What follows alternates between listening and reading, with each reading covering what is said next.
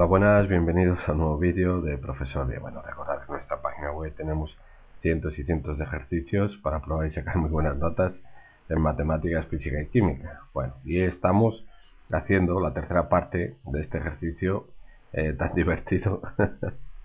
Así que bueno, vamos ahí. Ahora ya solo nos falta rematarlo. Habíamos hecho en el primer vídeo, calculamos la función e y calculamos eh, la relación, derivamos, igualamos a 0 y calculamos la x y la y. Bien, en el segundo vídeo demostramos que para esa x igual a 2 y para x para igual a 4, el área del triángulo que nos pedían, que era este de aquí, ¿sí? que va a pintar en rojo, era mínima. Y ahora también nos dice, el problema dice, todas las rectas que pasan, encuentra la que determina. Entonces tenemos que calcular la ecuación de la recta. Y eso es lo que vamos. Bueno, entonces para calcular la ecuación de la recta podemos utilizar muchas fórmulas, continua, vectorial, eh, punto pendiente, paramétricas, muchas. Entonces, bueno, eh, cada uno en casa lo haga como quiera. ¿eh? Y si, oye, y si no coincide con la que voy a elegir yo, que es la punto pendiente, os explico por qué, y no sabe muy bien si está bien o no está bien, pues oye, que mande un correo y ya sabe. Igual que para estos ejercicios, todos pertenecen a un PDF que están ahí en mi página, pero bueno, el que los quiera, el que no los encuentre lo que sea, y el que quiera algo, pues ya sabe. Me manda un correo a profesordesdemates.gmail.com y ahí hablamos, ¿vale? Yo le envío lo que quiera sin ningún problema. Bueno, pues entonces decíamos, yo había dicho que iba a hacer punto pendiente, que es i menos f eh, de x sub 0, ¿sí? igual a m por x menos x sub 0. Esta es la ecuación de la punto pendiente. Yo elijo esta porque como en el cálculo, en el tema de funciones, damos eh, la recta tangente, es la misma fórmula que recta tangente, entonces muchos de vosotros os acordaréis bien de ella. Entonces lo primero que tengo que elegir es un punto. Voy a elegir este mismo de aquí.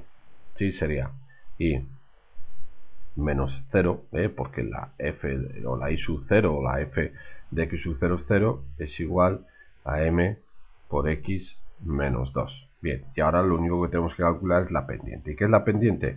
Pues la pendiente es la cuesta que tiene que andar este paisanete. ¿Vale? ¿Lo veis? Entonces, la pendiente ya vemos el signo.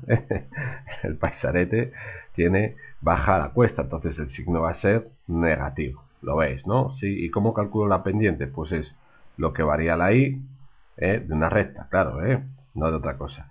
Partido lo que varía la x, lo que varía la y la i varía, eh, va de 4 a 0, lo veis, ¿no? Sería 4 menos 0, o bueno, lo voy a hacer al revés, bueno, da igual, 4 menos 0, y lo que varía la i sería 0 menos 2, digo, partido de lo que varía la x, la x va de 0 a 2, luego la pendiente nos va a dar menos 2, ¿lo entendéis, no?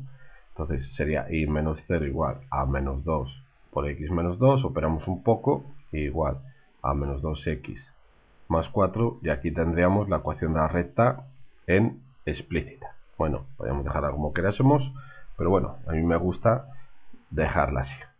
Bien, ¿lo habéis entendido? Sí, ¿habéis visto que el paisanete baja y que la pendiente me tiene que dar negativa? ¿Seguro? Bueno, pues venga, sigamos disfrutando con los problemas de optimización. Nos vemos.